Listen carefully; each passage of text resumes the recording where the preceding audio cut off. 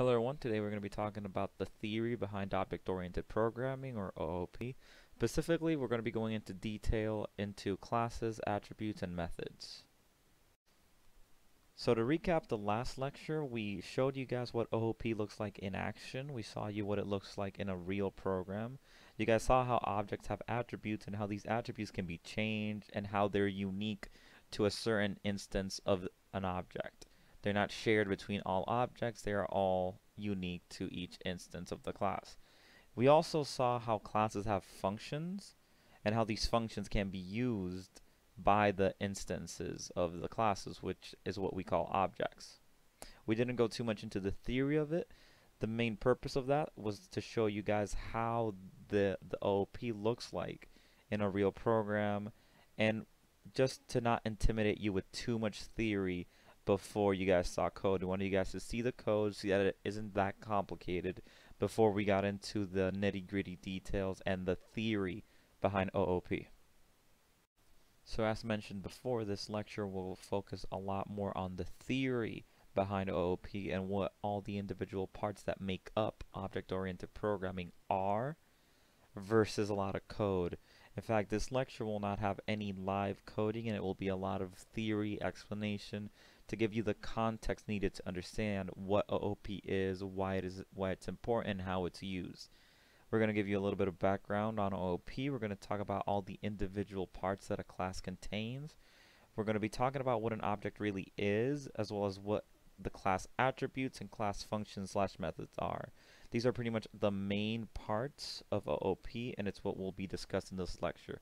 The theory, of course. Um, last lecture went in depth into what it looks like when it's in action. This lecture is going to be talking about just the theory and the background of it so you guys have the context needed to really code effectively using OOP.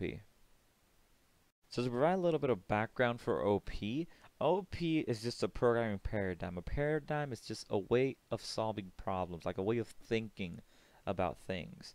So OOP is a programming paradigm that focuses on data instead of the logic. It, it, it focuses the design on objects and then on functions and logic. So it tries to make everything an object or a class or categorize data into the type of data it has to see how it can effectively, you know, solve a problem versus focusing on the functions and logic and then using the data. It'll be a lot easier to understand once you're doing some programming, once you have a little bit more experience with OOP, but that's basically the main gist of it. OOP allows for extremely modular code and it's very easily to work in a team setting using OOP. OOP allows you to split up the code very easily and to work um, in a team setting easily. The code can be split up across multiple team members and they can work independently on a single class or multiple class and then combine all their work together very easily. Now the main difference between OOP and the other kinds of programming paradigms is that in OOP we're focusing on data first and then on everything else. We're focusing on getting categories, we're focusing on getting classes and just defining data in a useful way for computation.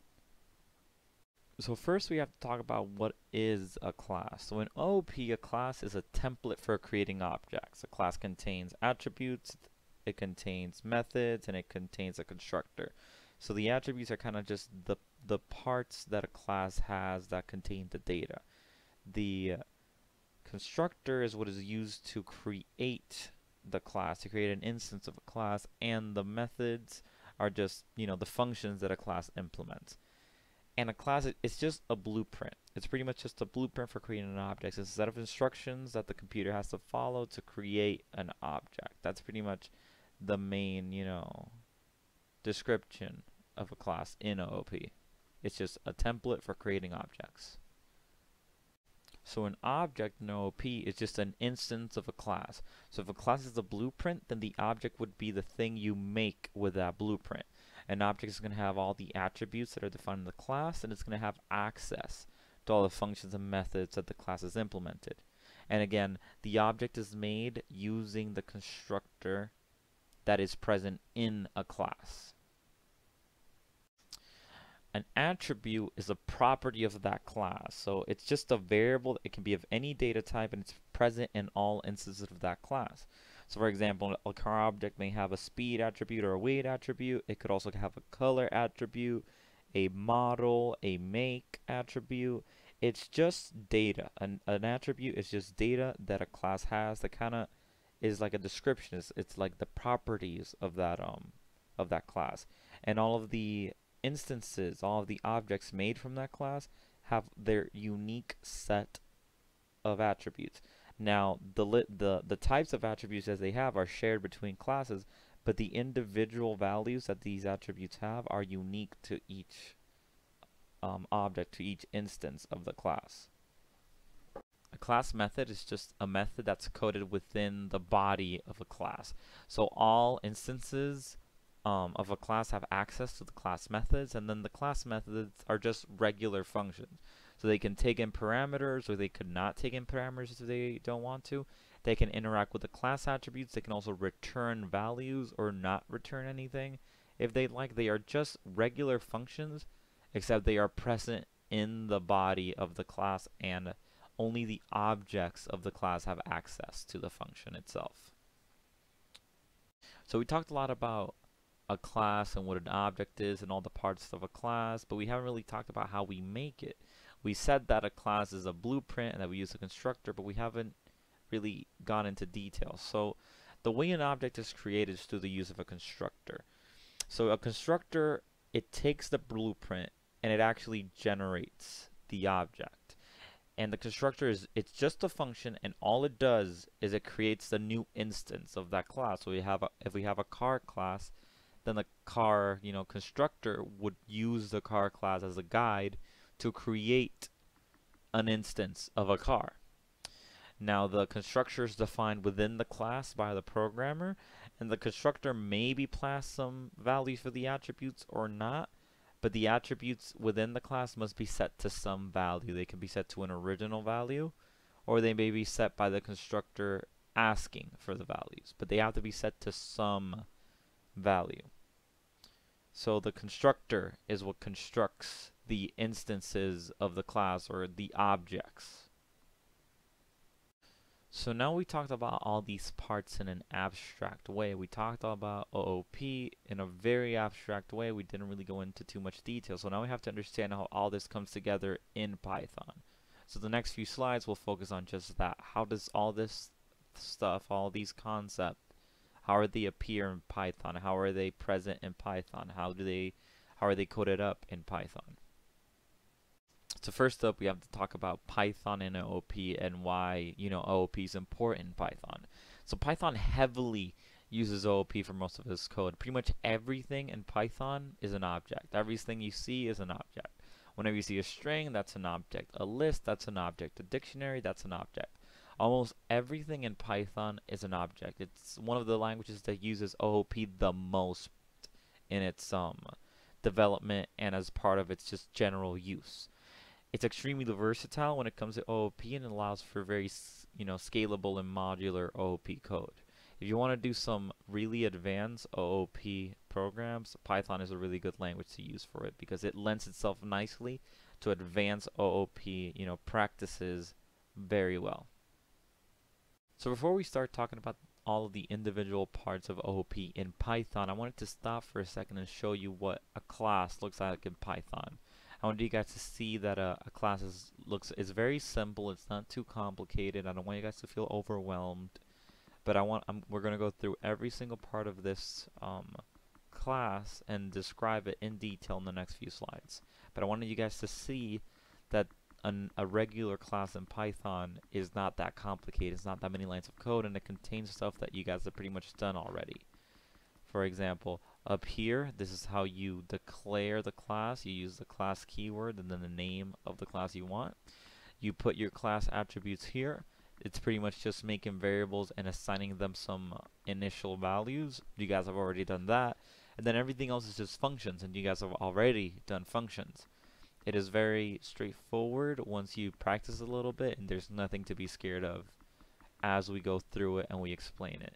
It's just another tool in your in your programming toolbox and it's a very powerful tool Now, it, it's a bit confusing and it, this video might require more than one rewatch to completely understand, but that's why we give you guys the other video first. That's why we give you guys a practical hands-on look first and then the theory. That way now it should start making a lot more sense. We recommend that you watch this video as many times as needed and then refer back to the previous video where we actually do a bunch of code and example. This will help it click a lot better. So to define a class in Python, it's actually very simple. You have to type the class keyword, follow it by the desired class name, and then a colon. After that, all of the code that goes into the class is referred to as the class body. The class body is indented, you know, as we usually do when we have colon. Everything that belongs to what the colon, you know, is used for is indented. Now on the bottom of the screen, you can see an example of how you define a class with all of the different parts of the class below that we'll get into as we keep adding to this class. Now, if we go back to the previous slide, the class definition is just this single line. Everything else are is, different parts of the class, but the class definition is just up here. Class, the class, the name you want for the class, colon, and then everything else is indented. So to add attributes to a class, all you have to do is just declare an initialized variable somewhere in the class body. Any variables that are declared within the class body will be considered an attribute. They must be given some initial value in order to function properly. So the attribute's value will most likely be overwritten when the object is created, so a dummy initial value may be used. You don't have to figure out what initial value you know you should use if you are going to immediately override it when you when you make an instance of the class. You can't just use a zero or a one or a true or a false or a null or just something temporary because you'll most likely be overwriting the value of these attributes when you call the constructor to create an instance of the class. So after the class has been defined and you have a couple of attributes, then the constructor may be written. So the constructor for a class in Python is called the init function. And that's init with two underscores before and after the init. The underscores are vital. So the init function must contain the self keyword in its parameter list and the constructor may be given additional parameters if the programmer wishes to, but it is not necessary. The parameters that you give the constructor, however, must be values for your parameters. This is the only thing that makes sense. If you're given something, the constructor should be things that decide that that affect the parameters. Now, the init function should ideally contain the least amount of code possible. This is because the init function is what runs every time you attempt to create an instance of the class. So you don't want to have a lot of code or some code that has large memory requirements or space requirements within your constructor if it's not needed. So once the init function finishes, then an instance of the class is returned to whoever called the constructor. So the parameters that should be provided to the constructor are the desired values of the class's attributes. Traditionally, the name of the attributes and the parameters are, are identical for the constructor. The way you differentiate between them is to use self to specify which value refers to, to, the, to the attribute. So whenever you use self, you are telling the interpreter that you are referring to the class's, you know, variable. In this case, the num the self dot number one is referring to the number one attribute and not the number one parameter. And then the equals number one, that one is going to be referring to the parameter number one and not the attributes number one. So what's happening here is that we're grabbing um, the number one parameter and putting its value into the number one attribute in the constructor that's present to the right. That's how you make a constructor. If you want more um, parameters, you can add them, or if you want less, you can remove number one, but you must always have at least self in the constructor's parameter list, and it must be the it must always be the first parameter in the parameter list. So to create a class method or function, it's actually very simple. It's literally the exact same way you would create a function or a method, except it's placed within the class body. Now, one small caveat, if you want the function to interact in any way with the attributes of the object, you must include self as the first parameter in the parameter list. This tells it that, you know, it's going to refer to the object itself and it allows it access to the attributes. Just like we had it for the constructor, we have it for the functions. This is this only has to be used if the function uses the attributes for the for the um for the object. If the class does not make use of the attributes at all, maybe it just prints out a message that has nothing to do with the attributes, then theoretically the self could be omitted, but I would recommend that the self is always there just to be safe.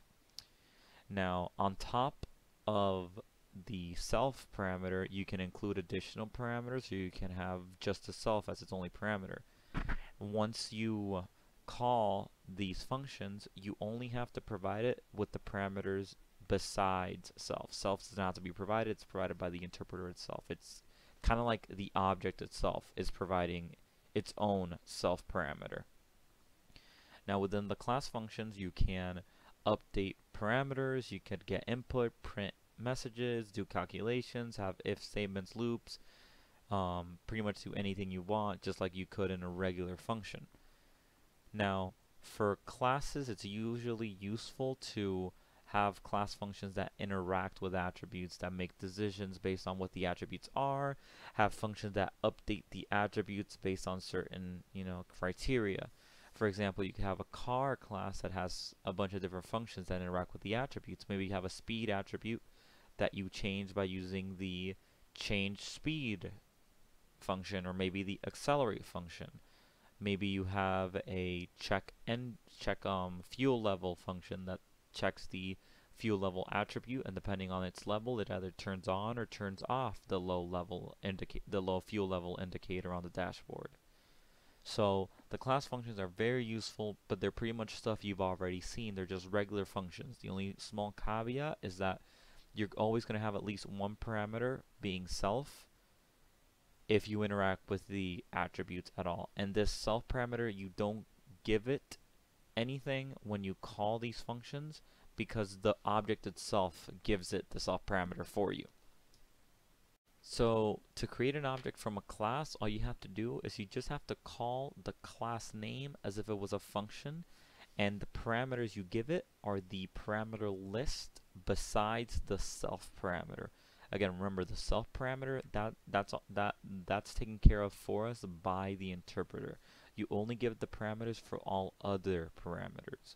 So if we didn't have any other parameters, we wouldn't give it anything. If we had more, we would give it you know, those, but we don't give it the self parameter. The interpreter does that for us. So in the bottom left of the screen, you can see how we're making a myCool class instance and putting it into the myCool instance variable. We're giving it a 3 as its parameter, the myCool class, and that 3 is going to be assigned to the number 1 parameter. And then when the constructor runs, as we mentioned before, the number 1 parameter is going to be assigned to the number 1 attribute. Now, whenever you're talking about an attribute in a class, remember you have to use the self dot attribute name, you know, format in order to refer to it properly. And all functions that refer to any attribute must include self in its parameter list because to, re to refer to the attributes you must do self dot and then the attribute name.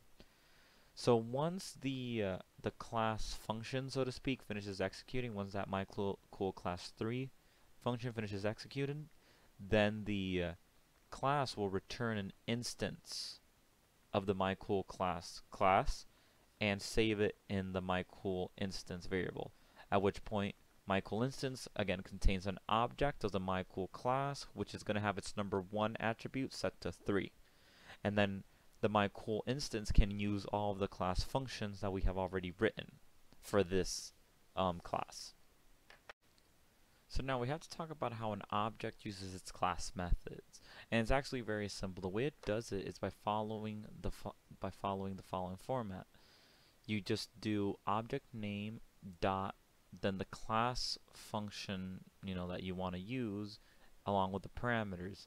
Now object name refers to the variable that actually contains the object. That's the general format you're going to use. Now in the following slide here we can see an example of me using the class methods using the, the class we've been creating throughout this video. Now all you do, you just type the the name of the, the object we have, which is called my cool instance, dot, and then the name of the function you want to use along with the parameter list if there's any. So first I print the value so we can see that the um, the value of number one is actually 3. The output, you can see it on the left side of the screen. Afterwards, I update the value of number 1 with a 5 by calling the cool class function function. And then I call the print value function again so we can see that the value was updated. I also call another function called scream that all it does is prints out scream to the to the console. Now theoretically the scream function could be written without the self in the parameter list since that function is not making use of the attributes in any way but again it's sometimes safer to include it just in case. Now as you can see you don't include anything for the parameter self. The self parameter is taken care of by the object itself. You don't have to worry about it. You only include parameters after the self parameter. So the print value and the scream um, function don't have any parameters besides the self. So when we call these functions, we don't give the parameter list anything. However, the cool class function has self and new number one. So we don't give it anything for self, but we do give it a single parameter to take care of that new number one. If we have two or three parameters, then we would include them in the same order they appear, omitting the self parameter. But this is simply how you would use a class method once you have instantiated an instance of that class. So this brings us to the end of our theoretical OOP lecture. It the throughout this video we showed that OOP is an extremely useful paradigm and we showed how Python and OOP really go well together and how important they are to each other. So now at this point you pretty much understand all the basics parts of OOP with the exception of inheritance and polymorphism. These will be covered in the next lecture. And again, this lecture's main goal was to really go into the theory behind OOP. That's why there was there weren't really any live coding segments. It was all just pre-written um, code segments. If you want to see some OOP live coding, I would highly suggest you watch the previous um, lecture video, which goes really in depth into OOP code and how you write it. This lecture was just meant to provide as much context and theory as possible so you guys understand OOP at a much deeper and fundamental level.